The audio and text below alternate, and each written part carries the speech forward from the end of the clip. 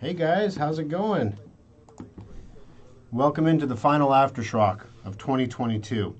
Uh, you'll hear a little audio in the background. I apologize. We're working on that uh, right now. There's a new board control that is a tiny little speaker sitting over there that's pumping out audio. It's the equivalent of a set of headphones on high. But em- Emily's about to fix that for us.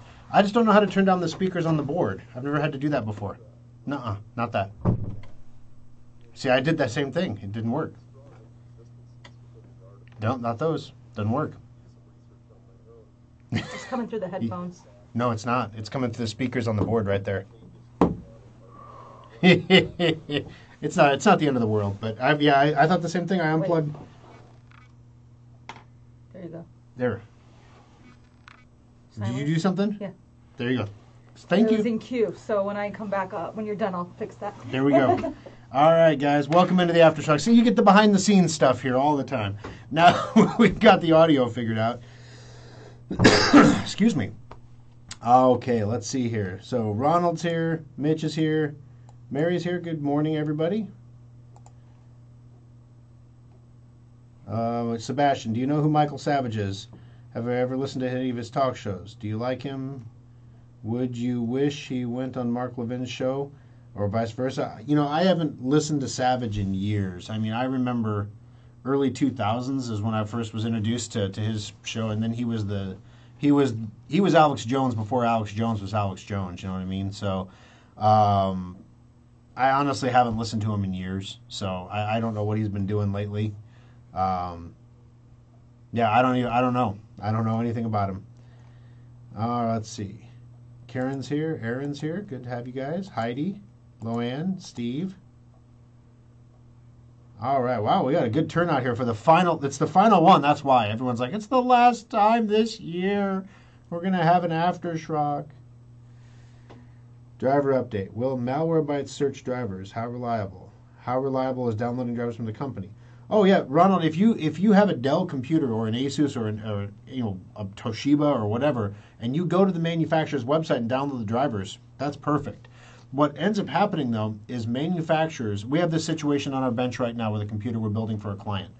This client runs uh, a convenience store chain around Nebraska, and his point of sale system requires Windows 10 32-bit. It has to be 32-bit, not 64-bit, which is what everything has been for the last you know 15 years. So the challenge now is not only do we have to get Windows 10, which is now considered an old operating system, but we have to get it in 32-bit and we have to find hardware that supports that. So we're having to build hardware that's a generation old just to get 32-bit drivers. The problem is the manufacturer of the boards doesn't provide 32-bit drivers. So we have to go back to the manufacturers of the chipsets that the, the, the motherboard manufacturer purchased to put on their board and they provide drivers. So there's multiple levels of drivers. So what all these driver updater companies do is um, you install driver updater on your computer and it runs a check of all the chipsets in your computer and then all the drivers that you have installed. And it uploads all those drivers to its driver service. And then anybody else that has the same chipset that there's a and their driver is older than the one that's uploaded those get sucked down into the computer. So literally the more people that use it the more drivers there are. And once in a while the driver updater people will go and upload their own sets of drivers and things or they'll scrape them off of manufacturers websites or whatnot well, the challenge becomes IBM, or sorry, not IBM, Lenovo, uh, may have used the same chipset as Dell in a laptop, but they may have deployed them differently. They may have tweaked the way that the board is constructed, the software is built, to utilize that chip in a way that is different than the other model. And so if you load the driver from a Lenovo on a Dell, will it work? Maybe. Should you do it? No. But if you have driver updater, it's going to do it all day long. That's why driver updaters are, are not, they serve no function, no purpose whatsoever. The only places that you want to get your drivers from on your own is originally from the manufacturer or possibly through Microsoft Update, although we just had a story about how they got gamed. Um, the good news there is if you have Sophos, you have somebody watching your back in case that happens to you. Uh, let's see here. Okay. Well, this is. I'm glad you asked this, Sebastian. Sebastian asked, "Why would used cars decrease in price 30 to 50 percent in this time of inflation?" Um, because the inflation numbers are about to roll over. Uh, what is causing inflation right now? Let, let's let's step back and like look at the, the at the numbers and say what not not what's causing it in a macro sense, but what is inflating? Like what is going up and causing people to have to pay more for stuff? Um, well, energy has gone up. Uh, I know that uh, my wife freaked out when she saw the gas bill because the, you know how they put the little bars on the bill about your usage. Well, do you know that those bars, uh, at least on the Black Hills energy bills, don't represent usage in like cubic meters of gas or anything? They measure dollars spent. So we are spending double this year. We're using the same amount of gas as we did last year, but we're paying double for it. So when you double the cost of energy, uh, the production of goods takes energy, and that means goods are going to go up in price. So energy is way up. Cars, used cars, are way up. Why are they up? Well, because there weren't any new cars available to purchase because of supply chain constraints. Well, now those supply chain constraints are being resolved, not because the supply chains are fixed, but because demand is falling off and it's allowing the, the broken supply chains to kind of catch up. Um, as a result, used cars you have went way up in price. Huge increases in price. I think I, I, famously told you how i traded in my f350 pickup truck with 50000 or 40000 miles on it. Um, for a brand new f-150 platinum with every bell and whistle i could think to put on it like literally there was nothing else to add to this truck and it was an even trade that's how much the price of used cars went up because new cars just weren't available. So now what's happening is the reverse. So now what we're seeing is people okay, let me let me start let me give you some stats. The average monthly car payment that a person is paying right now for a vehicle is about 700 bucks.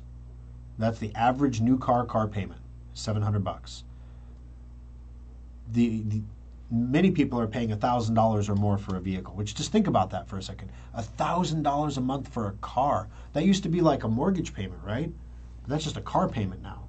So $1,000 a month for a car.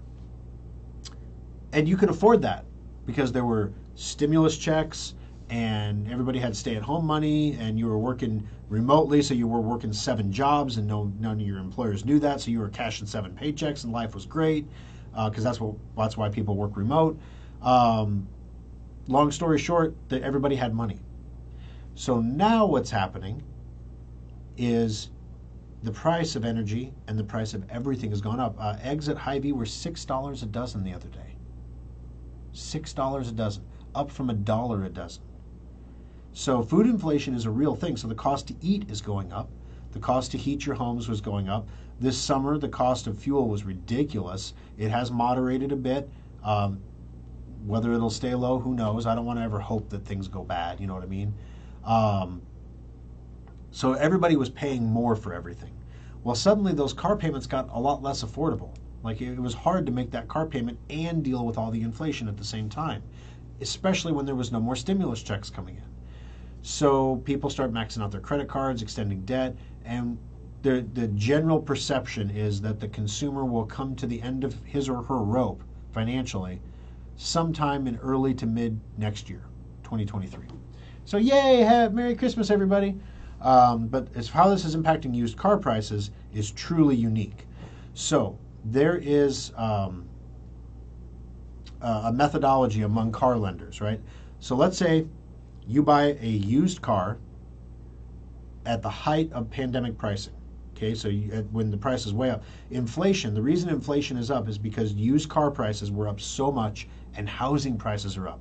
Those two things are sticky because you have a car payment, and your car payment is going to go for like seven years, or six years, or five years, or four years, or however long. It's sticky. So when those prices go up, everybody who bought a car in the last year paid way more than they paid in previous years at a higher interest rate. So their payments are really high, and that the price they pay for the vehicle goes up, that's inflation. Housing prices, very sticky. Most people sign one year leases, two year leases, or 30 year, 15 year mortgages. when the cost of the the interest is going up and the price of the homes was up high, everybody was paying more. And even if the prices of houses come down, you still have a lease.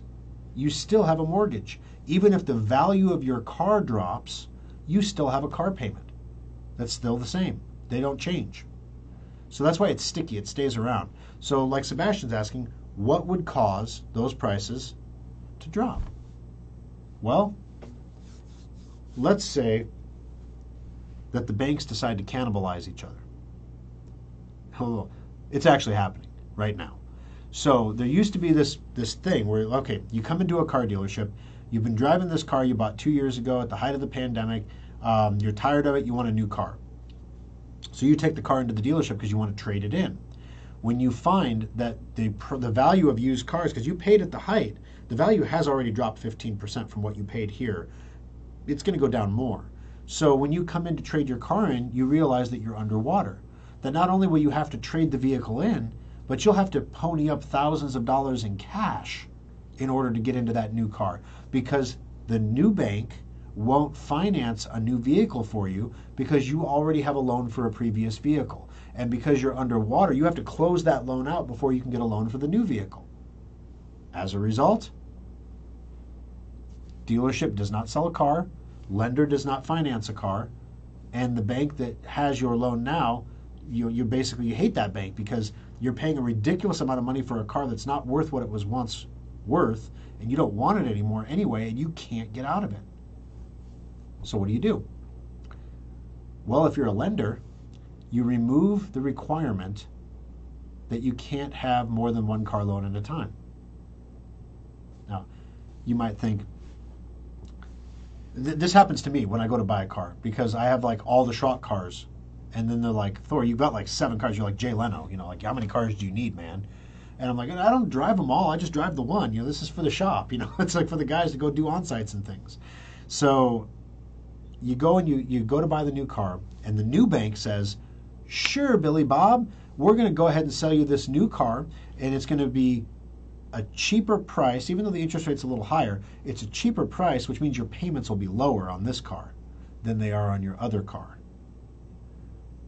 The bank knows you're going to default on the expensive car, the car that you're paying $200 more per month on a payment on that you don't even want anymore, that you're just going to walk away from.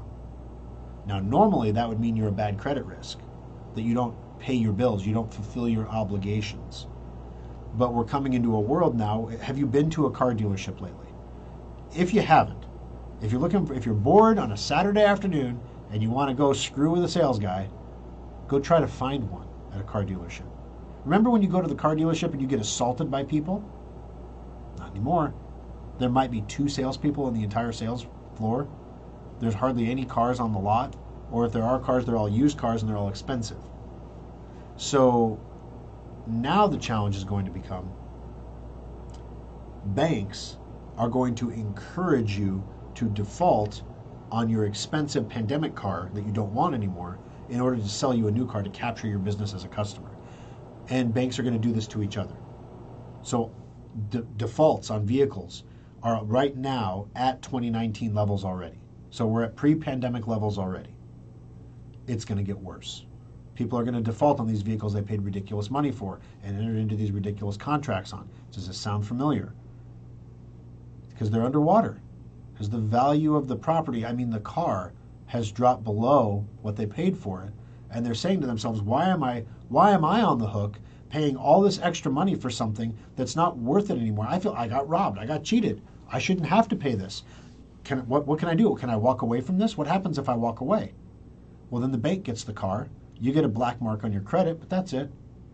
They, they may come after you, they may not. Just depends. Um, guess what? During the pandemic, everybody had money. So what wasn't happening? Repossessions. No one was repoing cars. So the repo men, most of those businesses went out of business because there was nothing to repossess. So now we don't have as many repo comp- companies. The repo companies can't get employees because people aren't working for some reason. And banks have an all time high need for repossessions. Automotive repossessions are 13% up over pre pandemic levels right now, today. They are so busy that the repo companies are booked full. They have no capacity to repossess any other vehicles. And if they did have a person to go out and get the vehicle, they don't have a place to store the vehicle because their storage is full. So banks are actually paying premiums to repossession companies to get them to repo their cars first. Why? Because they know the first bank to sell the repossessed vehicles will get higher sales, higher dollar amounts than the banks that come later. Because there's going to be such a glut of especially high end used cars on the market that the prices are going to drop another 30 to 50% in 2023. And as the prices drop, it becomes a self fulfilling prophecy. Now you have this loan, you're even more underwater because the, price, the value of your vehicle has dropped even further. And you want to get into a new vehicle and you can't, so you just walk away from this one and it creates another repossession, which creates another default, which and it goes on and on. But don't worry, you can still drive away in your brand new car that you just got from the dealership because the other bank was willing to fund you. The world we live in is upside down and backwards, guys. So, what's going to happen to inflation? What's the Fed trying to do to inflation? Now, there are different schools of thought on this, and there I don't want to be the doom guy, you know. So I always try to find I try to be aware of what could happen so I can prepare for it, but I I try to hope for the most likely outcome. Because there are sigma deviation outcomes on both sides, right? Next year inflation could go down to 1.5% and everything everything could be right with the world again, right? That would be like, wow, optimistic, ain't going to happen. Next year the dollar could crash and we could all have nothing and we could all be scrounging for food and shooting each other like a zombie apocalypse movie. Not going to happen. So the truth is somewhere in the middle, right? So what is going to happen? I think that we're going to be in a scenario where we see less inflation. What does less inflation mean? So inflation, let's say it's at 6% year over year right now, roughly. So less would be maybe 4%, 3%, right? But there's going to be sectors of the, that doesn't mean the life's going to be great. What that means is there's going to be some sectors of the economy that see stupid inflation, like food and energy costs. And there's other areas of the economy that are going to see dramatic deflation housing values, car values. Those are going to offset to create a combined lower inflation rate, but make you absolutely miserable in the process. That is what I believe the likely outcome of the whole the whole thing is. It's the hard landing. Um, that's why. Um, so think about think about all the tech workers that are unemployed. Um, I know a guy here in Omaha who was working at Meta, who was making, I don't know, well over $250,000 a year in the data center for Meta here in town. Where is he going to find a job like that here in Omaha? There's what, five data centers to go to? People are already working there. You know, it's like, where are you going to go? So, yes, he'll find a job, and yes, he has great skills, and yes, he's amazing, and he'll get paid well. The question is, where is he going to find a job to pay that? So, these high tech people that are getting laid off, they all have like six month severance packages. In fact, this guy from Meta said he'd be good through the summer of next year before the, the money from Meta dried up. So these severance packages are very generous. So the workers are okay for now. But what happens to their Teslas and their Land Rovers and their Porsches and their Lambos when they don't have that income anymore? When the gravy train runs dry? You're going to see these high end cars coming. Companies like Carvana are in real trouble. In fact, Carvana is doing something behind the scenes that it's never done before. It's amazing, right? So, what is Carvana? If you don't know, Carvana is a, is a company where you buy and sell cars. So, it's kind of like um, you have a car for sale, you can sell it to Carvana. Carvana gives you money for it. They take the car, clean it up, you know, fix it up, and then sell it to a retail buyer. And they make the money. They're a used car dealer, basically. Carvana's in trouble because they bought cars from people at the height of the pandemic for huge amounts of money. Now they have to turn around and sell those cars after cleaning them, moving them, getting them all fixed up, whatever had to happen.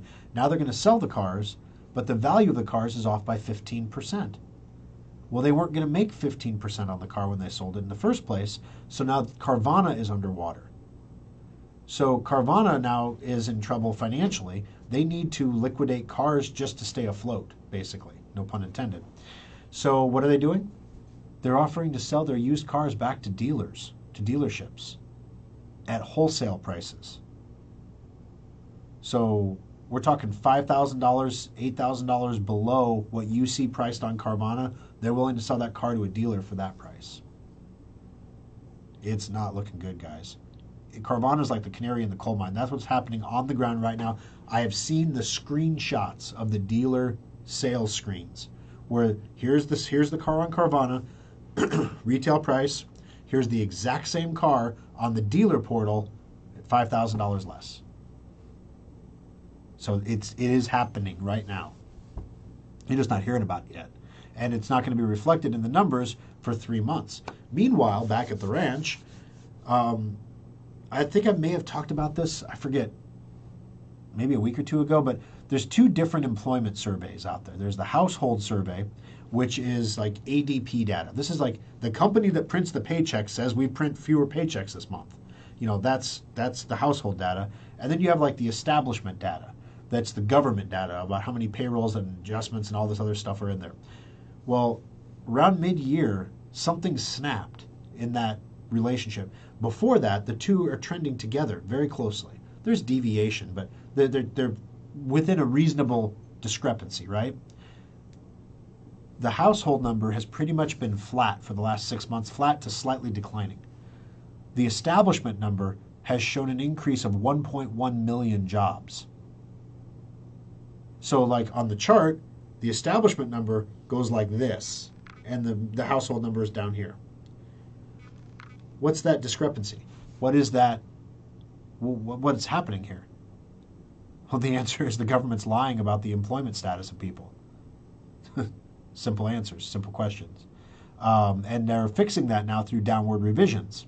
So expect to see downward revisions in labor numbers. Now, these are the same labor numbers that the Federal Reserve has been using to jack up interest rates, to try to crush the job market, to try to cause deflation. If we take money away from people, they will buy fewer things. If they buy fewer things, there will be less in sales. The prices will come down because there will be too many goods available and not enough buyers. So retailers will lower their prices to move goods and prices come down. Voila, we've killed inflation by making people miserable. As opposed to the Reagan model, which, yes, did have interest rates increases. I'm not saying that you can't have that, but they also tackled it from a supply side. This would be like the Federal Reserve saying we have to raise interest rates, but we're going to open up fracking across the entire country on all federal lands. Oh, wow. Yeah, it's going to take like five years before any of that energy ever makes it onto the market. But the futures prices of energy are going to come down because that energy is going to come out of the ground. But that supply stuff isn't happening anywhere. It's not happening from a production standpoint, it's not happening from an energy standpoint, it's not happening from a manufacturing standpoint. The services sector is not growing. Literally, it's not happening. So we just have the bad, the, the high, the high interest rates. We don't have the growth policies. So that's the whole point. They're trying to crush the labor market. So the Fed's been looking at these numbers now for how many months, saying we have to keep raising interest rates because the labor market is still stubbornly strong. Why is it so strong? This makes no sense. Why is the labor market so incredibly strong? The answer is it's not.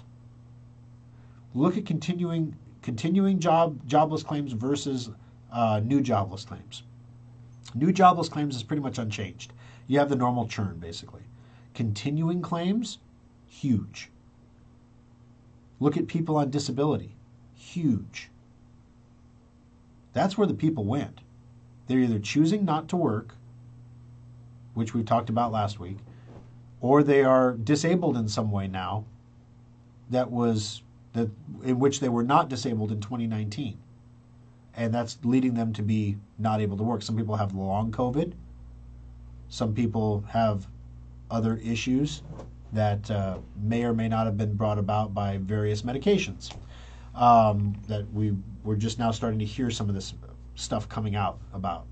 Um, so yeah, so it's the whole the whole thing is a mess, and it's a mess that yes, it's gonna. The, why are we talking about it? If there's nothing we can do about it, and it's just gonna give you stress to talk about it, right? Why are we talking about it? Because if you understand what's happening around you, you might not be able to avoid the poo storm, but you can find the least poopy place to be in the poo storm. So, for example, um, my wife and I were looking, we're, we're kind of casually looking for property, um, something like five five-ish acres, you know, something like that. Um, our plan was to move, right? Well, now interest rates went up. We were going to finance this.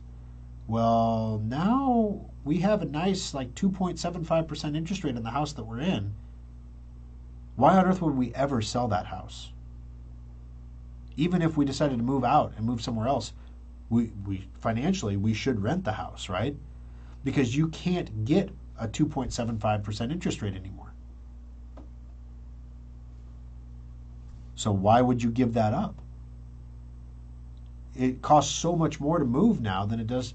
So people who are elderly who live in big houses are choosing not to move into a smaller, more manageable house because it will actually cost them more money to buy the smaller house than they are spending to be in the bigger house. So they stay in the bigger house. This is causing people who are in the mid market. So you have your, your starter houses, then you have your mid market houses, then you have your like prime earning years house with family and bedrooms and everything else. So there's a natural flow of people. They start out with starter homes, then they upgrade, and then they upgrade again. Well, the people at the top are not leaving. They're not moving out. So these houses are not available. The people in the middle are not moving because it doesn't make financial sense to move because the interest rates on the houses they have are so low. So the people in the starter homes are paying more than ever to get into the crappiest houses because there's a very few of them available. That's what's keeping the price of housing up right now, by the way. There are very few houses available. Maybe I should just rent, but oh shoot, the rent just doubled. Some people are facing double rent in some parts of the country year over year. Part of that's because landlords weren't allowed to charge rent for two years. That money's got to get made up somewhere. So, if you know the world around you and you understand what's going on, you can make informed decisions. Like maybe we shouldn't buy a new house right now. Maybe instead we should bank the money that we're saving and put that toward a down payment or a full purchase, maybe, of a new house.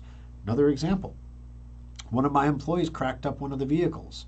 Um, it was a stupid accident. It was one of those. It was a snowy day, um, you know, and nobody was behaving poorly or driving aggressively or anything like that.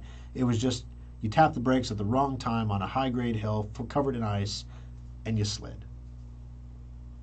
It is what it is, right? Do we buy a new vehicle right now? No. Do you know? Do we fix that vehicle right now? The damage wasn't bad. He just kind of rubbed up against another car. It's probably mostly paint damage, but it's so dirty out right now you can't see it anyway. Like I tried to look at the car and see the damage, I couldn't find it because of the the road schmutz on the car. Once we wash it, I'm sure we'll see it. Um, do I just wait because maybe these small little cars that we use for Schrock are going to be cheap enough that I'll be able to just buy one rather than finance it. Or, you know, my, my ops manager is driving a Ford Ranger. We got a sweet deal on it. It was a brand new 2019 Ford Ranger that we bought in 2020. And uh, got a, you know, pre-pandemic price, got a great deal on it. It was amazing. Well, you know, he was coming from a car. He didn't want to go to a big F-150 or something, you know, so we put him in a Ranger. It was kind of a compromise. Well, now he's driven the Ranger for a while, and he's like, this isn't so big of a deal. I probably wouldn't mind a bigger truck. Okay, so let's look at an F-150. Have you looked at the price of an F-150 lately? Maybe those will come down. If those come down 30%, maybe I'll buy an F3 or an F-150, you know?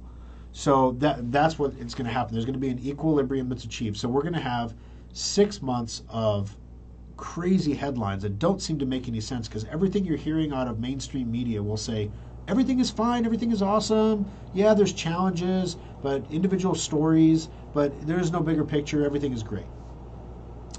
Then you're going to see the headlines in alternative media telling you that the end of the world is coming. Michael Snyder will be telling you that the world's going to collapse tomorrow. I have a new book out, by the way. Um, okay. Um, the truth is somewhere in the middle.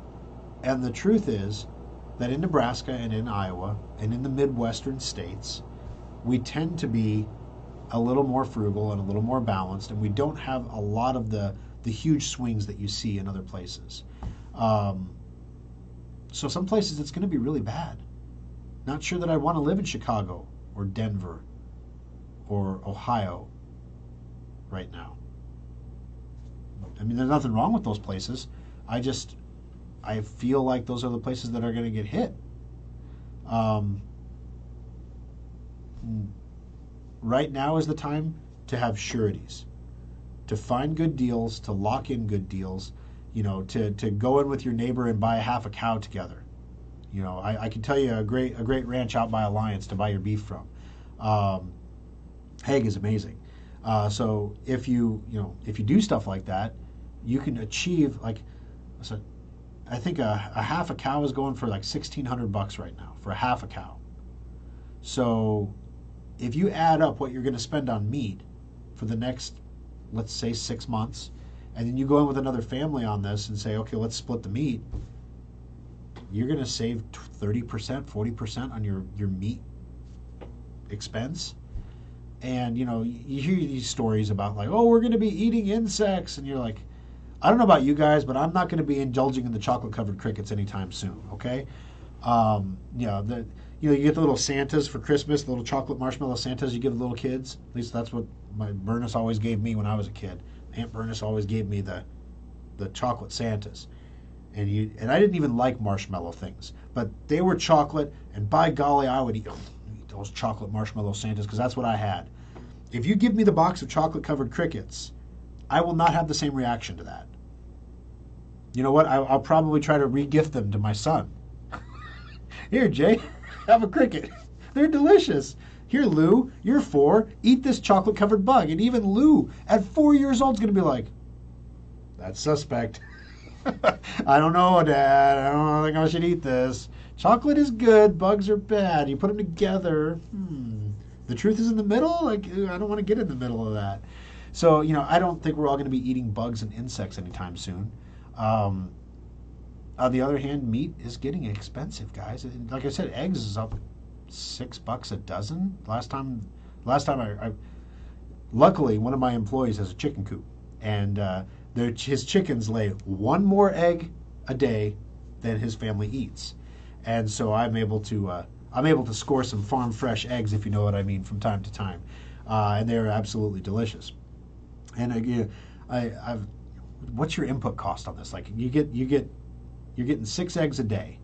What do you do? He goes, it's like a handful of grain, and I get six eggs a day. And I'm like, oh my gosh! And they're like fresh, fresh, fresh eggs. They're not, you know, they're, they're farm fresh eggs, guys. It's just beautiful stuff. So anyway, I don't want chickens. I don't want to deal with the chickens, but I love the eggs. So we can work something out. We can work something out here.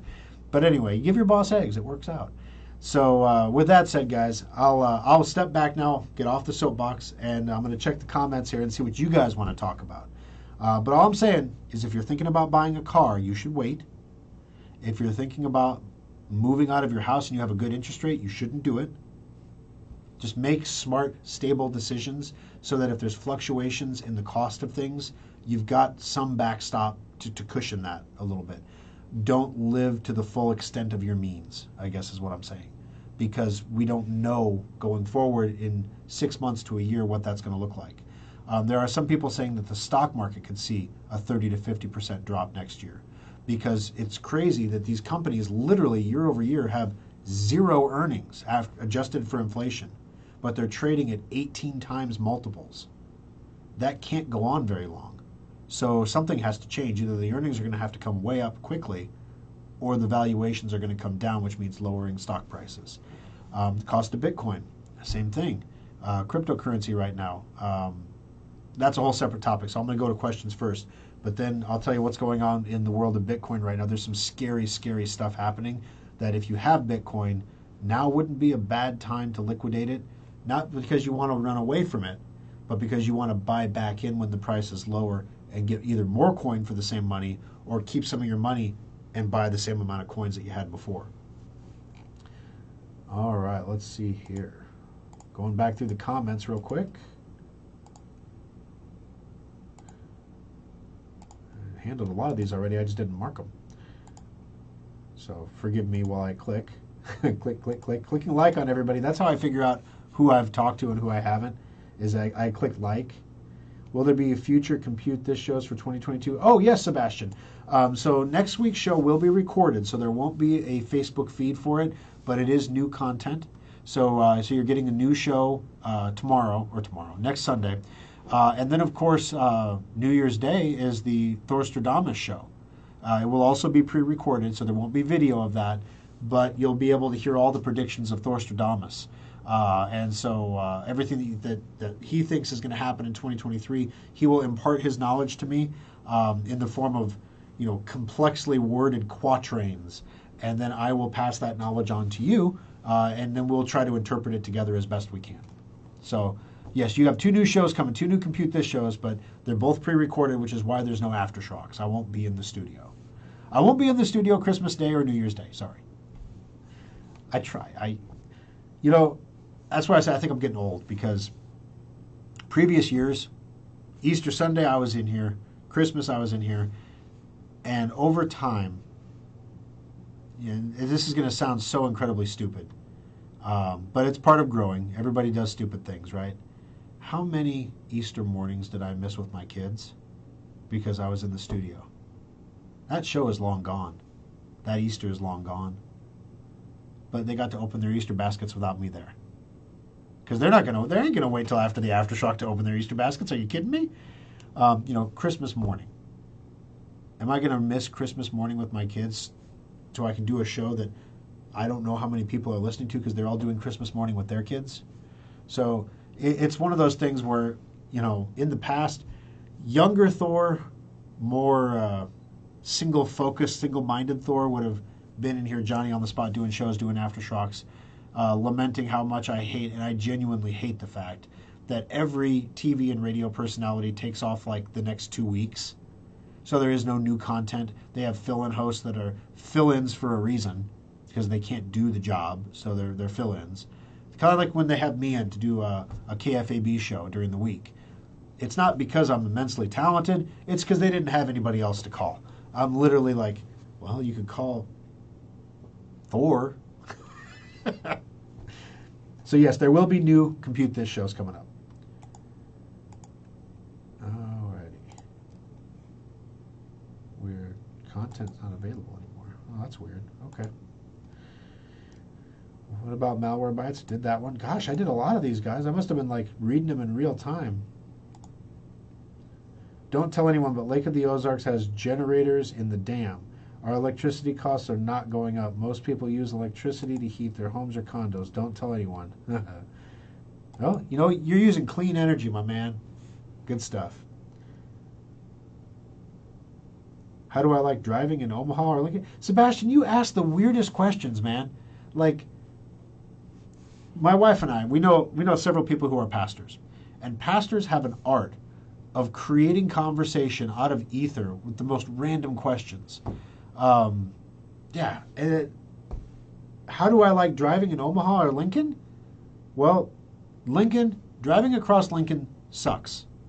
Driving across Omaha isn't a big deal. Why? Because when you drive across Lincoln, there are three roads that bisect Lincoln from, from north to south. Three roads. None of them are interstates. They're all full of traffic lights. They all have 40 mile an hour or slower speed limits.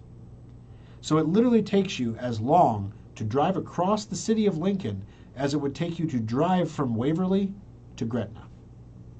So basically from city to city. You can drive the interstate and you can get between the cities in the same amount of time it takes you to drive across Lincoln. And that's just ridiculous. But what do you do about it, right? So th- there was a proposal to, to install a, uh, um, a loop, a bypass in Lincoln. But it got stranded in committee because they couldn't agree on how many stoplights to put on the bypass. Well, we got to let people get off the bypass. So You put a stoplight on it? You build a ramp, dude. What the hell? A stoplight? That's the whole point of the bypass. There's no stopping. You bypass the stoplights because you're not going to those businesses. You don't have any intention of going to those. It's not like you're going to be driving down 84th Street and you know you weren't planning on stopping at Burger King, but you saw the Burger King and you thought, oh, damn, a Whopper. You know, that doesn't happen. That doesn't happen. Maybe it happens once in a while, right? But for the most part, unless you're really hungry, that doesn't happen. Or you're driving down the street and you're like, ooh, Kohl's. I wonder if they have a sale on cologne. You know, that doesn't happen. If you're going to Kohl's, you're going to Kohl's. You don't need stoplights on your bypass. So there is no bypass. There is no stoplights. It all died, and uh, it is what it is. So that's how I like driving in the cities. All right, good to have you, Jason. Uh, plus, when you sell your house in Nebraska, you have to pay an additional 2% tax to Lincoln. Yeah, Ronald, I was not aware of that 2% tax. I have to look into that. I didn't know what that was that they uh, they passed on there. If it was like if you're selling a house and not buying a new one, or if you're selling a house and buying a new one, do you still have to pay the tax, or how does that work, or is it an exit tax? So, like if you're leaving the state, for example, if you're selling your property and not purchasing another property, you know, then the state gives you a one last little, you know, have a great day. Illinois, it's like, you know, 90% or something when you leave the state. It's ridiculous. I'm retired. I got my house fixed the way I want it. It's paid for, and I don't want to buy someone else's problem. Ain't that right, Stephen? You know, that's the thing. You know, we're looking at all these houses. Now, the lovely Kimberly is a very handy person. She has done several home improvement. You might think that I'm the home improvement guy, right? But no. So, like, if we had a show, like a Chip and Joanna show, I would be Joanna, except I can't design anything or decorate anything. I would just, I would be like, wouldn't it be cool if we had screens? Like, more screens. That's a, it needs more screens everywhere, like touch screens and voice commands. Where's where's the voice command speaker? You know, that that would be Thor. So the lovely Kimberly, she she lays floors in the house. We redid the kitchen. The the, the thing that I did, I, I patched the drywall. I can do that behind the tile backsplash. She did the tile backsplash. She remodeled the bathroom. Um, she did all the molding herself. Uh, she did the baseboards. She did the door trim. She looked up the style that our house was built in to determine the style that she should use and she should create for the trim. Because she did all the research before she just jumped into it. Thor would have been like, let's cut some wood. Kim's like, let's read a book first. I'm like, ah, come on, read a book, watch a video. Come on, I want to. Let's cut some wood, you know. And then of course that you get the results. You know, there's a reason that the lovely Kimberly has won the Schrock Household Gingerbread Contest for the last three years running. Okay, there's a reason. So, our house is fixed up the way we like it.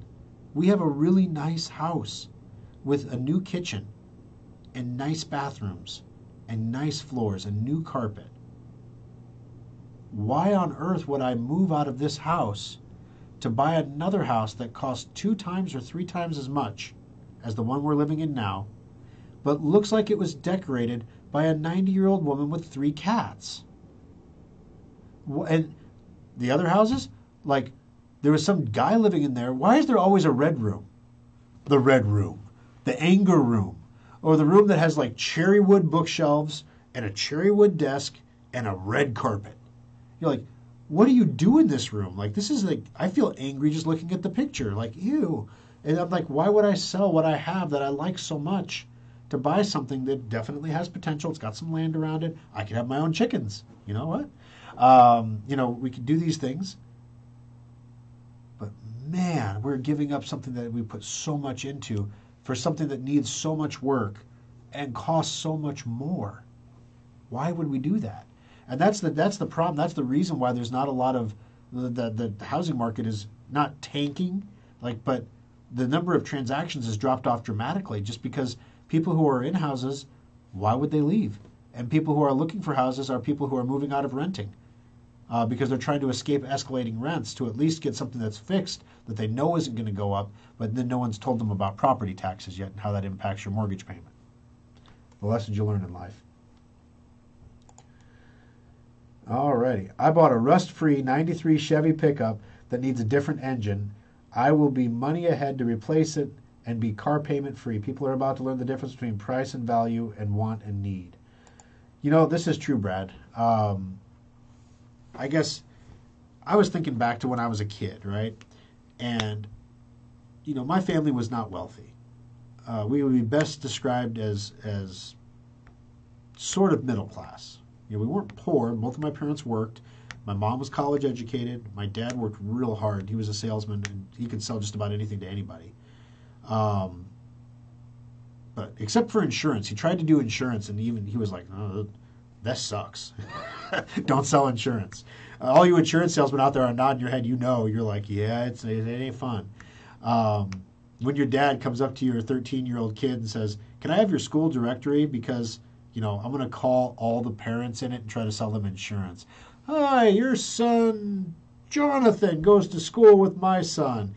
Um, just thought I'd give you a call and see if your insurance needs were taken care of. I mean, literally, that's what you have to do. it, was, it was so embarrassing. So anyway, but you know, growing up, I, I had a, I had one bike. You know, my entire childhood.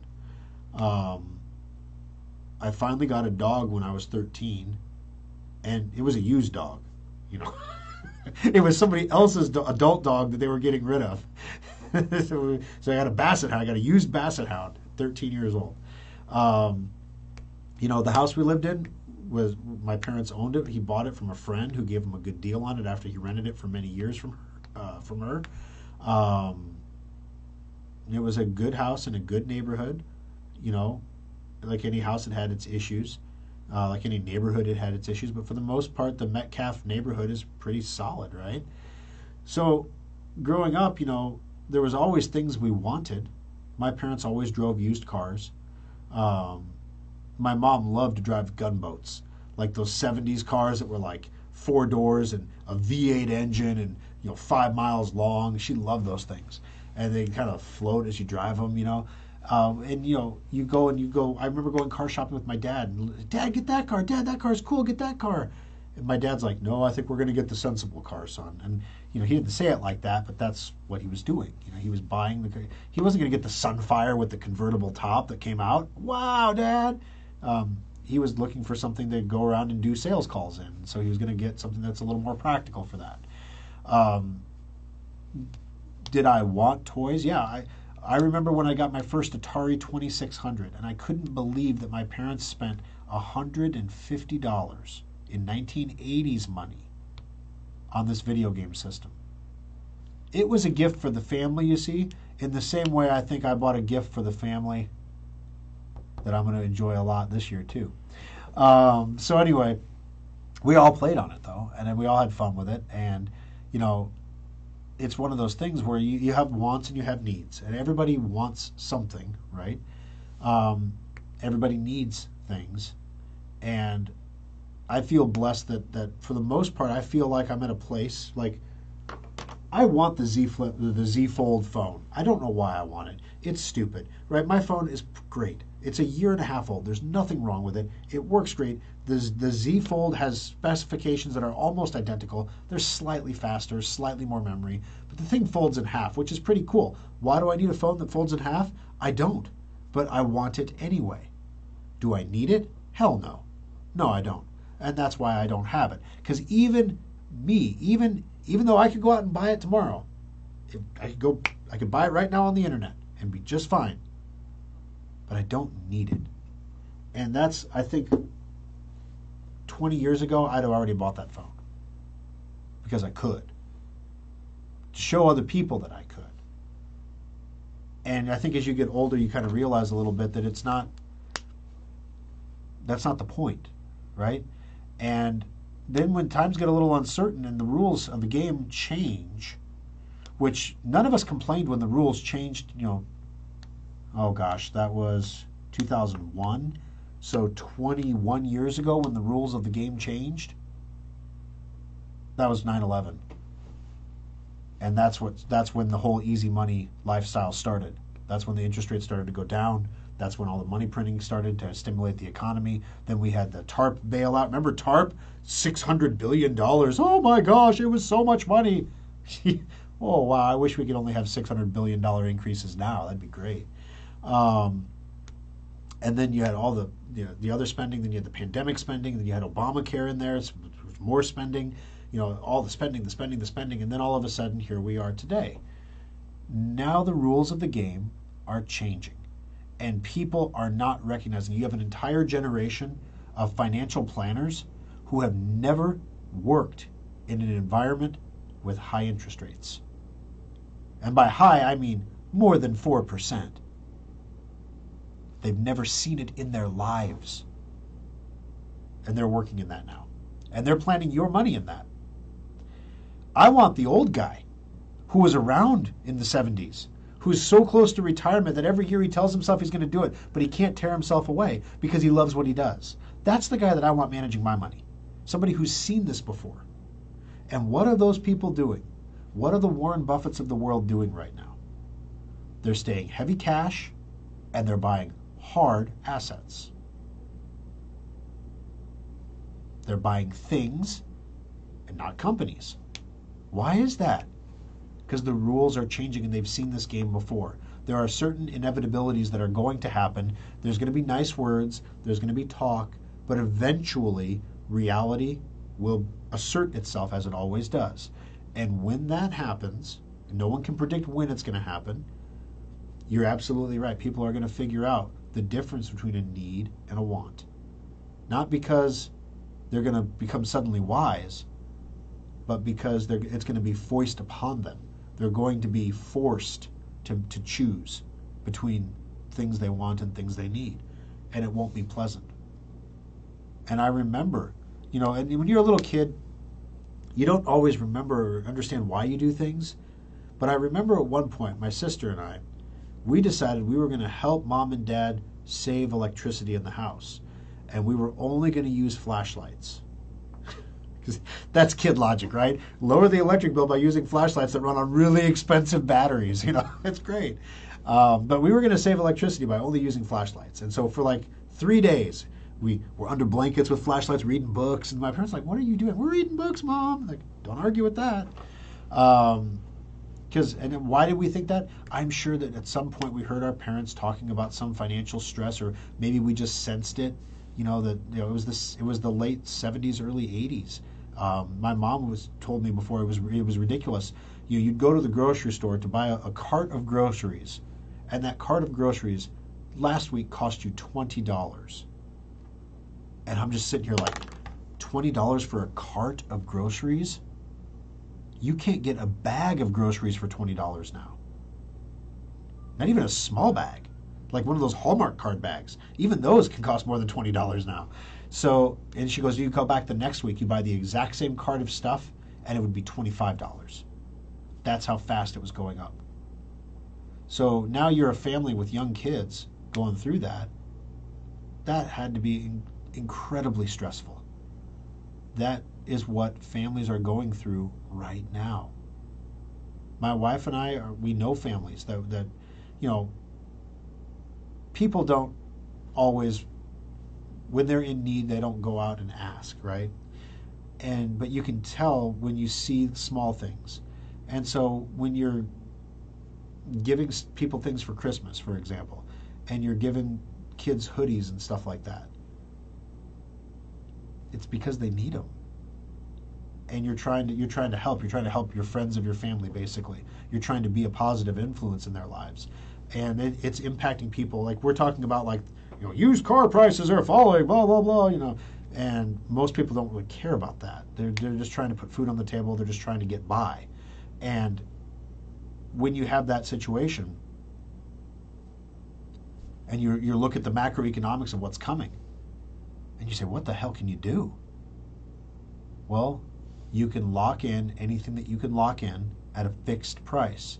Anything you can lock in at a fixed price is a win right now. Anything. Whether that's rents or mortgages or anything. You can all, if the interest rates come down later, you can always refinance your mortgage later. Buy a house. If the if the interest rates go up, well, you're happy you bought when you did. Let's see. Oh, Richard, what's to talk about with the border invasion? Yeah, he says he got you talking 40 minutes on inflation. I guess you don't want to talk about the, the border invasion next. What's to talk about? It's the same story, different day. I don't even read the articles anymore. It's the same story, different day, way worse. You know, the mayor of Denver issued a state of emergency because like 800 migrants this month came to Denver. 800 in a month. Oh, we need federal money. I mean, on the border, the 800 in a month, that would be like sweet. You know, we have extra budget surplus, you know. Um, I'm frustrated because, on one hand, I definitely see we don't have enough employees in this country. We need more people. Number two, the people that are coming are not people that can do the jobs that I need them to do. Number three, the people that are coming are not coming legally. So therefore, there's this cloud over their heads. There's a cloud over your head if you employ them. There's all the social costs involved because the people that are coming illegally are barred from properly entering the the fabric of society. So therefore, they're even more reliant on the social safety nets and non-government organizations like churches, things like that, to exist to survive. Or they form little encampments where you know, they gather together and they, they pitch tents and they make a little shanty town somewhere. How is that safe or legitimate or providing a better future for your children? You know, and you can make all kinds of arguments one way or the other. I'm not here going to make those arguments today.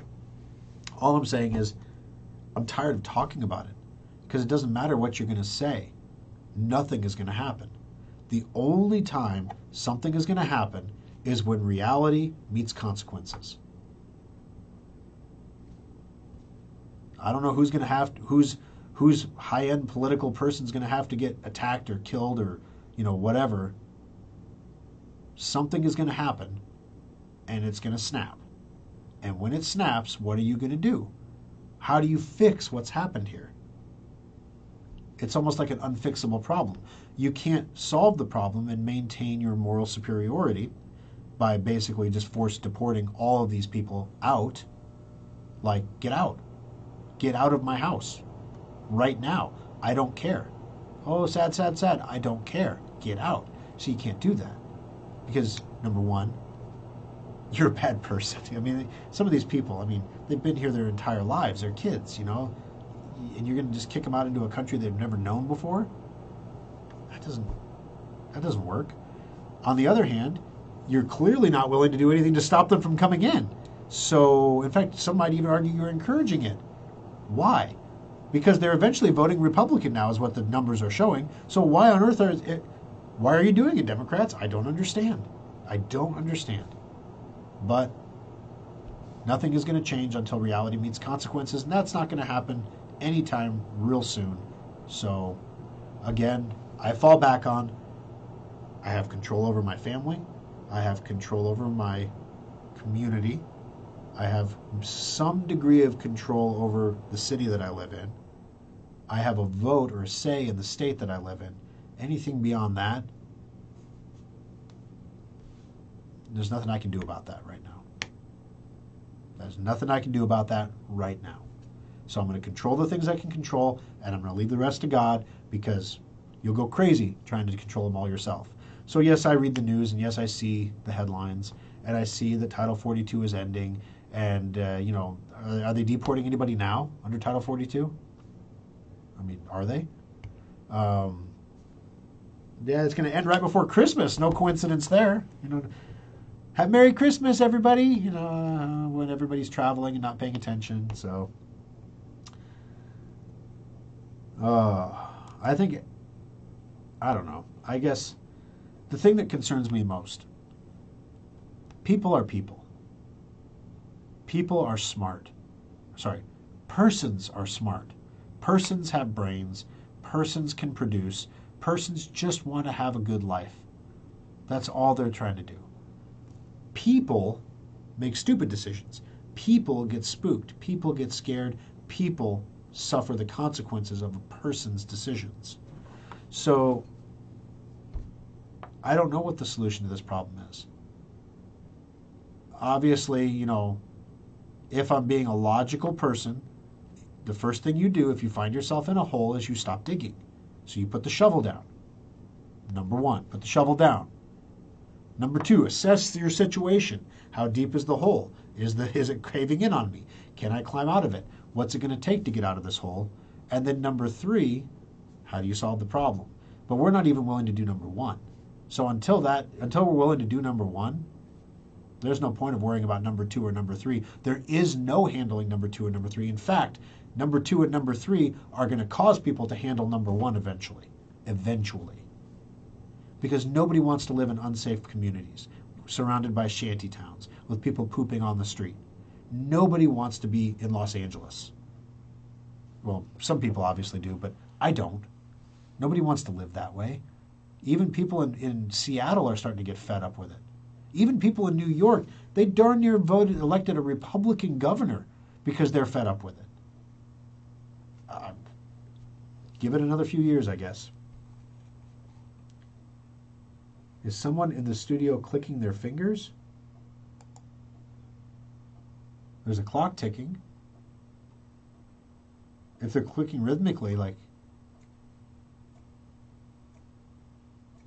I mean, that's the clock. I can't do anything about that. It's super quiet in here right now. Alrighty.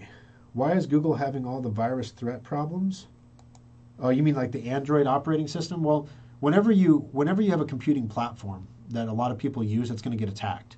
Um, Apple has its share of, of, problems. That's why they push out updates. Um, Windows obviously does. Even Apple users are infected all the time. Uh, Apple users are infected way more often than they believe they are. Uh, and they stay infected longer because they don't do anything to prevent infection typically. So uh, that's why one of the reasons when we install Sophos on Macs in the service centers, um, you know, when we install it, we're like, oh yeah, and it removed two threats because they look at the threat report and they're like, why are there threats in the threat report? Well, that's what it removed from your computer after we installed it. And they're like, oh, damn, that, that's not good. Um, so, yeah. When are you coming to Kansas City with a store? We should have been here. You know, we should have power so that a few things happened. Number one, we put in the Des Moines Service Center, um, which launched amazingly well, and then we immediately got crushed by a staffing situation. Um, one of the reasons that we opened Des Moines, the, the main reason we opened Des Moines, is we wanted to open a service center that was geographically distant enough, but close enough at the same time that we could get there if we had to, but geographically distant enough that we have to, it's a test of our systems. And what we found is some of our systems are lacking, specifically transferring of the, the inventory pars. We have to keep more stuff on hand at more distant service centers the further away they are from our central Papillion warehouse. Number two, staffing problems. Um, when we have three, three service centers within a 60 mile radius of each other, we can move staff around. Uh, we can have uh, lower individual store levels of staffing because we have more available employees in the pool that we can pull from in the event someone calls out sick or something like that. In Des Moines, that's not the case. So the problem there is, is we have to have more employees on hand in a service center that is lower volume because it's newer. The Lincoln Service Center has been around for 24 years. The repeat business is through the roof. It takes five years for one of our service centers to really establish itself. We opened that one in 2020. So basically, we had the pandemic pop, and now, so we don't even know what a real number looks like out of that service center because every number we've had has been pandemic influenced, whether it was the 2020, like I need to buy a computer to work from home, or the 2021, um, I have a bunch of stimulus money, so I'm going to buy a gaming computer, or now here we are in 2022, and what we're finding is that year over year, our service centers overall are flat. So our repeat customers are still doing business with us, but we're not seeing those huge sales coming in of like seventy thousand dollars sales to a to a business for you know fifty new computers. You know, we're not seeing those purchases this year, and that was something that we saw a lot of in Des Moines. Now the other problem with Des Moines, um, we need more staff because we need more on-site capability, because Des Moines has more geographically distant uh, satellite communities. So you know you can go to Waukee, or you can go to Des Moines, or you can go to West Des Moines. Um, you can go to Clive. You can go to uh, uh, Johnston. You can go, you can go all over the place, and they're all all the communities are virtually identical, and they're all 30 minutes apart. And so, anytime you have a, an on-site, you, you're taking a staff member and you're sending them out in a vehicle, 30 minutes one way, 30 minutes back, plus the on-site time.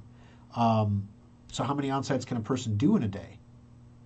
So there are some limitations that we are learning, basically. Um, so how do you solve those limitations? Well, the, the cannonball approach is you don't open one service center, you open three.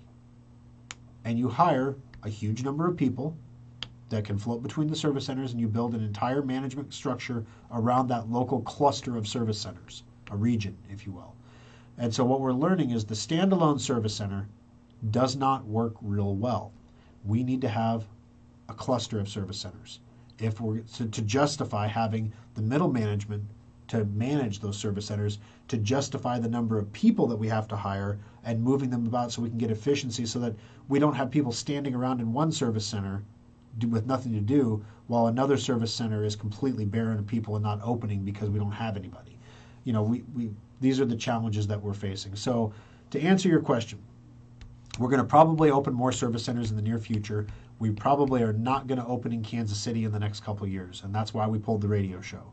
Um, it, it, was basically a two year plan that we were going to run the radio show for two years, and then we were going to open the Kansas City Service Center. We knew after seeing the number, the numbers coming out of Des Moines are great. The customers are amazing. Everybody loves us there. There's no, there's no, don't worry about losing your Des Moines Service Center. Everything is good there. We just need more.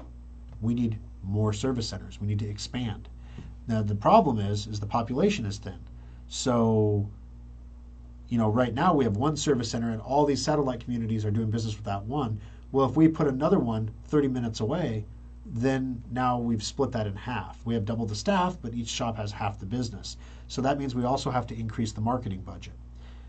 Great question. Where do you spend your marketing dollars these days? We're already on radio. We have AM radio, we have FM radio. Um, the only thing that our advertising marketing company tells us to do is put commercials on TV news, which did work really well when we opened the service center. The problem is it is stupid expensive, like mind bogglingly counterproductively expensive. So, what other options do we have? Do we have anything creative? What about Hulu? What about the new Netflix ads? You know, what we don't know anything about those. So, part of this is developing those systems in order to, you know, we grow very organically. Customers tell their kids about us, tell their friends about us, then they come in and then they tell their friends and their kids and then they come in. So we grow very organically. But when you're opening three service centers in a geographically small area, you can't have slow organic growth. You need to you need to be it's it, it has to be like you're opening the first Chick-fil-A in town and people flock. You know what I mean? No pun intended. That's what you need to have. And that's what we're working on creating and figuring out in the meantime, though, opening that one service center was like a half a million dollar expense um, of, of, outlay between staffing, training, uh, building, equipping, advertising, marketing, the whole bit. So to open up three service centers at one time, you do the math. Plus, it's probably going to cost a little bit more than it used to. So you do the math, and all of a sudden, this is a huge, huge expense. An expense that if we took on at one time at the wrong time, could endanger the entire company.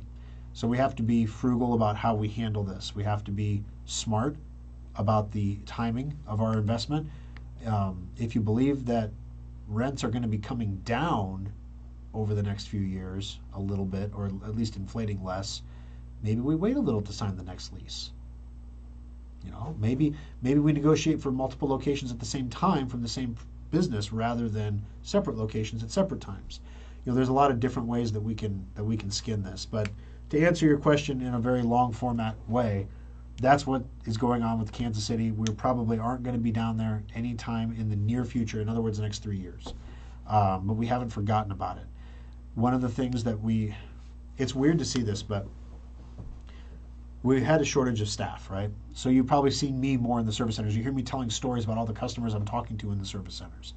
Um, it's important that I stay in the service center from time to time. Uh, number one, it keeps me connected with you. It, it, helps me understand the, the problems that you're facing so that when I talk on the radio, I'm not talking from broadcasting from my ivory tower. You know, I, I actually know what's going on. But number two, if I spend 36 hours a week in the service centers, which is what I've been having to do, that doesn't give me a lot of time to visit the Good Idea Fairy. And the Good Idea Fairy has an 80-20 principle, and that's what the lovely Kimberly's for. 80% of my good ideas are crap, and she filters them out for me. 20% of them are solid gold, and she scores those for me. Um, so the problem is if I'm working 36 hours in the service center, those ideas are not happening because I just don't have the time of the day. So now that we are finally getting, I think we're going to have, we have a new front desk starting Monday in Omaha. We've hired another technician in Omaha. We will be full staff in Omaha for the first time in six months on Monday. Now, that doesn't mean they're trained, mind you. they're still got to be trained, but full staff. We'll have we'll have the right number of people in the building.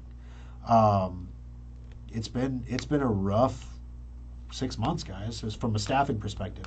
So now that that's done, I, I'm starting to pull myself back a little bit and, and having them lean less on me, more rely on themselves.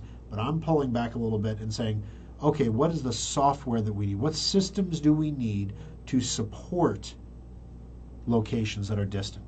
Um, how do how do we do corporate services in Des Moines? How is it different than how we do it here?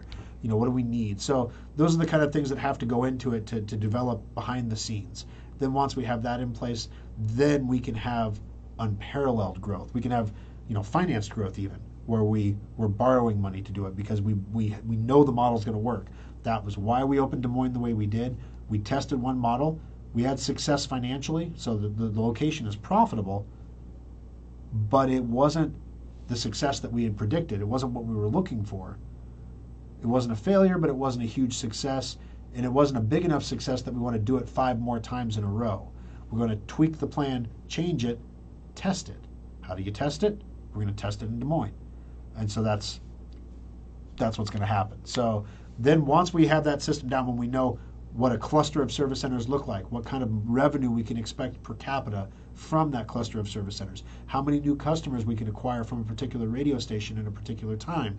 Are there other methods of advertising that we can use that are financially suitable but allow us to reach the right number of people? Once we have all that in a nice little package, then we take that nice package to Kansas City and we drop it there because Kansas City is a much bigger market than Omaha. And Omaha is a bigger market than Lincoln and is a bigger market. And Des Moines is, you know, ironically larger than Omaha. From a, they're considered a larger media market, even though the population is about the same. So it's kind of weird. But Kansas City, there is no there is no no bones about it. It's a bigger media market and it's a bigger population center. It's going to require multiple locations to cover it properly. Go. And that's it. Last call for questions, guys. The Seattle office is not in the plan at this point. No, I'm sorry, Bob. Not quite yet. I use the Des Moines shop just showing that many of us have quite a drive into Schrock business. Showing that many of us have quite a drive. Yeah, um, and that's the thing. So, from from the perspective of operating a service center, if you're willing to drive 30 minutes to come in, why would I put another service center closer to you? Because I'm just going to cannibalize the one I already have Sure, it'll be convenient for you, but you're already a customer. The question is how many people are not willing to drive 30 minutes to come in? How many people have not realized how awesome we are that we're worth that 30 minute drive? We offer free pickup and free drop off, but very few people utilize it for some reason. Don't know why. So if we're offering free pickup and free drop off and no one's utilizing it, those are people that we're not reaching for some reason. There's something else that's not right that we have to figure out. And so that's what we're, and it's a constant tweaking game. It's a constant game of adjusting the message, having something that is uh, timely, um, that is, you know, for example, we're already starting to think about the ultimate upgrade next year.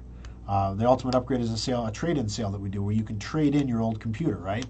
Um, you can trade in your old computer for a discount on a new computer, and it's one of our most popular computer sales.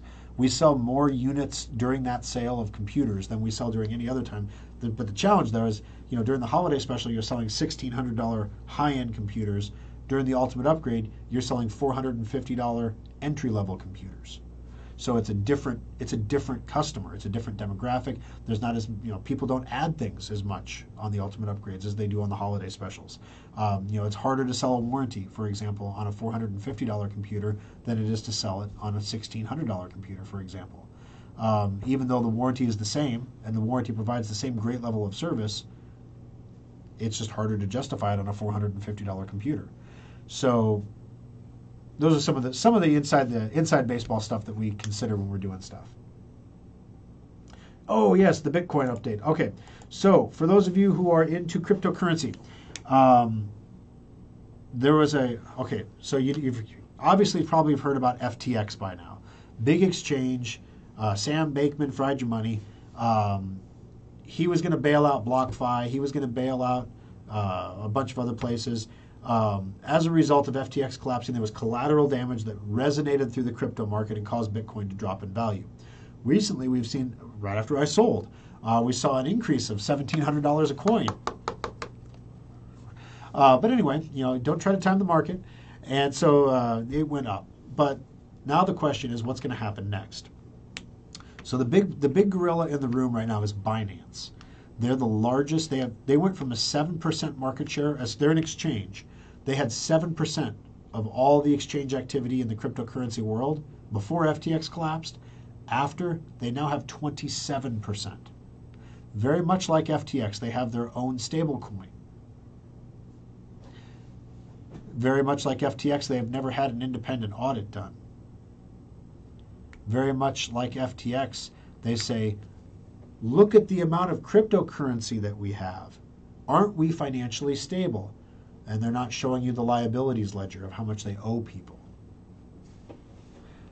So Binance called in an auditor that is known for auditing crypto firms and did, well, they won't call it, the firm wouldn't call it an audit, they called it a report because it wasn't an audit. Um, they said that this report was generated under very specific rules, basically. The, they only let them measure one coin at a time. So now imagine a scenario where you're trying to make it look like you have way more Bitcoin than you have. So you might sell all your other cryptocurrency and buy a bunch of Bitcoin and say, look at all my Bitcoin, I'm the man. And then, okay, next week we're going to check your Ethereum. All right, sounds good.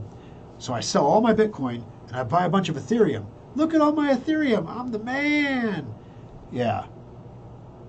You see how that's a, that's a fraud, right? Now, I'm not saying Binance is doing that, but what I'm saying is the firm that created the report just removed it from their website a couple days ago without any comment. In other words, they don't want to tie their name to that. Makes you wonder what the problem is at Binance. It makes you wonder what's going on there. It made a lot of people wonder. So many people wondered that Binance saw $10 billion of cryptocurrency leave their exchange in a two day period. Now, Binance says we are fully capitalized, one to one. If you give us cryptocurrency to hold on an exchange, it goes into a wallet. We don't commingle, we don't spend your money, we don't do any of that stuff. In fact, we are so financially responsible, we even have an OBEEP fund. Like, this is our, our reserve fund over here of this bajillion dollars of cryptocurrencies that's a reserve fund in case something goes wrong, then we're covered. Question If you're one to one reserve covered, what's going to go wrong? Why do you need a reserve fund? Is it in case leverage bets go wrong? What are those leverage bets? Are you propping up the value of your own stablecoin, kind of like FTX was doing? And now it's coming out that FTX actually engineered the Luna collapse because the last time Luna had an issue, a bunch of people bought FTX as stablecoin instead. So now they're thinking that Luna and Alameda co- worked together to crash Luna, which was the thing that set off this huge catalyst in the first place that bankrupted a bunch of companies, uh, Three Arrows Capital. You know, literally, that's what started the chain reaction trying to save FTX. And then now FTX is gone. Uh, Binance blew the whistle on FTX to destroy them to take go from 7% to 27% market share. Well, if there's a problem in Binance, just like I just talked about how we're trying to open service centers and expand our coverage areas and, and the, the complexities that go into that from a business perspective, now imagine overnight, overnight, your business went from 7% market share to 27% of the market overnight. That would be like me saying, overnight, we sold more computers than Dell now. Go. Our systems are not, we can't handle that. We're not designed to be Dell. We are not Dell. We are not designed to sell millions of computers a year. That's not what we do. Yes, we sell computers, but we sell service. We are a service company that happens to offer hardware. If you don't want to buy our service, we don't want to sell you hardware. The hardware is the portal to our service, very much like Apple's model. You want the ecosystem, you buy the Apple hardware. Is the Apple hardware better? In some ways, maybe, in other ways, not. But if you want the ecosystem, you buy the hardware. So, getting back to Binance, Binance right now is seeing massive outflows. People are just taking their cryptocurrency and, and holding it in their private wallets now. They're like, I don't trust any exchange anymore. Now, the question is can Binance survive this if it hangs on long term, if people keep pulling money out? What if there's another drop in the value of Bitcoin, which there always is in January? January to April is always a bad time for crypto. Tax time. Now, this year might be different. There's a lot of losses, right? I sold my Bitcoin so I could sell it at a loss. Um, full well knowing that it was going to, I think it's going to drop and I'll be able to buy it back and I'll, I'll make some money there. So I'm going to they call it harvesting your tax loss so I can claim that on my taxes because the government wants my crypto info. Here you go, boys. Um, and in the meantime, next year, maybe I'll have a, a profitable transaction. We'll see. Um, in the meantime, just like Warren Buffett, I'm in cash. I'm just going to sit on the sidelines and wait, see what, see what opportunities present themselves. Um, so anyway, that's what's going on with the world of cryptocurrency, and as goes Bitcoin, as goes Ethereum, and all the crap coins underneath it. Um, even one of your biggest performers, Dogecoin, for no apparent reason whatsoever, they were only down 13% this month. Top performer. So that tells you the, the mood of the industry right now. It's definitely crypto winter. Um, but the thing is, this is cyclical. Like all industries, this is a cyclical industry. Like, I hate to be a pessimist about this, but eventually the Federal Reserve will begin to loosen monetary policy again. They're tightening the screws right now to try to get inflation under control. Eventually, they're going to loosen it up. And when that happens, you are going to see an explosion in the value of risk assets uh, as money gets cheaper. Watch for that. Wait for that. Be prepared for that. So when you know buy buy your Bitcoin cheap when you can. I'm targeting 10 to 15,000, you know, somewhere in that range. I'll probably start buying around 14,000 small increments. Hopefully it gets down to 10 and then that's my entry point. Then if it goes to 150,000 in 2 or 3 years, I'll be very happy. Because uh, what other investments in this world are you going to get that do that uh, for the, for that small of a cost? Some people are listening to this right now thinking this man is crazy. I know you're there. I know you're there. All right, last call, guys. Uh, Thor and Kimberly have a great family Christmas and New Year's. Well, thank you, Ron. I appreciate it, uh, and we will. Uh, we it it's so awesome to have little. Anyone who's had little kids around Christmas time knows, you know, when you catch one of them like trying to. My, my daughter's special needs, so sometimes she just gets it in her head it's time to open a present, even though it's not. She'll try to, you'll catch her trying to open one. She knows she's not supposed to, so she's sneaking. You know, you're like, Katie, Katie, no, no open, no, don't open it. Um, and then you know Lou is just in, just super excited every morning to do his advent calendar right now, his chocolate calendar. Have I done my chocolate calendar yet today? Like the days are blending together. Did I do that this morning or did I not do that this morning? No, you don't get an extra piece of chocolate, kid. but you know it's like okay, you have to open. You know today you're going to open day 18. That's one eight. So even the chocolate calendar is an educational experience because he has to find the numbers he might not know what 18 looks like because he's only four, but he knows what a 1 is and he knows what an 8 is. So 1 8. I find a 1 8 and I can open that door and get a piece of chocolate. See, you sneak it in on them whenever you can. Well, it's going on longer than usual because it's the last one of the year, my man. Sebastian, are you getting tired? Hold on, let me let me get a drink, and then we can continue. No, I'm just kidding. My wife's to kill me. Well, no, actually, my wife has a prescription she needs me to pick up at Hy-Vee at 10 o'clock. So if I go another four minutes, then I'll be right on time. No, uh, no but thank you guys very much for joining us. It means a lot to me that you're here for the After Schrock, especially. Um, you know, it's it's one of those things. Like I used to believe that there's two sides to the political questions in life that surrounds us. That there's my side, the right side, and there's the wrong side. People who disagree. Um, compromise is not fun, especially when it always seems to be w- your team willing to compromise and the other team willing not to give an inch. Um, and so you want to respond by not giving an inch, and then you end up at an impasse because neither end is giving an inch. Politics has always been this way. There's nothing new under the sun. The, the names have changed, the rules have changed, and maybe we get rid of some of these 80 year olds. It will be the exact same stuff with more emotional outbursts. So here, the first Gen Z guy got elected to Congress. Um, he was trying to get a, an apartment in Washington, um, but no one will rent to him because his credit's so bad. His excuse is, "I spent a lot of money on my campaign, so I had to. I used my credit cards to get elected to Congress." Which I would ask what your plan is to pay that money back on a congressman's salary, but I think I, I think we can all know what the plan is. Um, but it's just it blows my mind. I, I said I was talking with Frank in the Papillion Service Center. I don't understand why anybody gets involved in politics anymore. Like it's always been nasty, it's always been personal, but now you're you're talking about the absolute destruction of your life if you get in the wrong person's way. Like there are there are no holds barred. Like there is no there is nothing sacred, especially if your name is Trump. There's nothing holy.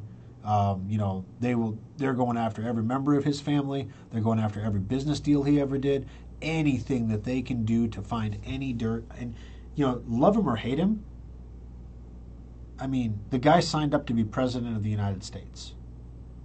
He signed up to serve in a job that paid him was it four hundred thousand dollars a year where you have to buy all your own clothes, you have to pay for all your own personal stuff, got to buy all your own food. Government doesn't buy all that for you. You have to pay for that when you're president. And you have to go to all these events, and your wife needs a new dress for every event. It's and you can't just go to you know Kohl's and buy a dress off the rack. You got to buy the designer dresses. You know, so I mean, it's not a cheap. Let's just say there are there are probably other ways that Trump could have spent his time and made a lot more money. These Trump NFT trading card things that he's doing right now makes me question his sanity a little bit right now. Like, are you going? Is this like when Ted Cruz got fat and grew a beard? Um, like, what what's happening here? Um, are you really going to run for president again, or is this just a plot for you to sell NFTs? Is are you trying to to to be the businessman now instead of the person that people want to elect? So I don't know what's going to happen next. Uh, nobody really does. So all you can do is be th- very thankful for the positive things you have in your life, and you guys are some of the positive things that are in my life. And I'm very thankful for you. I'm very thankful for my employees. I'm very thankful for my family and my amazing wife. Um, just if, as a young man, you would have told me this is where I was going to be, I wouldn't have believed you, number one. Number two, I would have found some way to screw it up. Because that's what young men do, right?